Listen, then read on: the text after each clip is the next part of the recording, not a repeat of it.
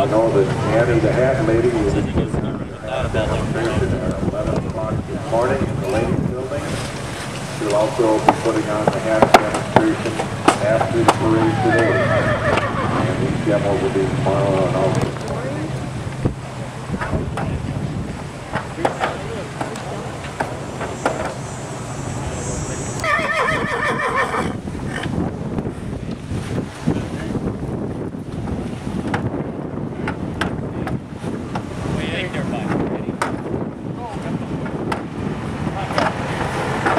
Dá pra... fora.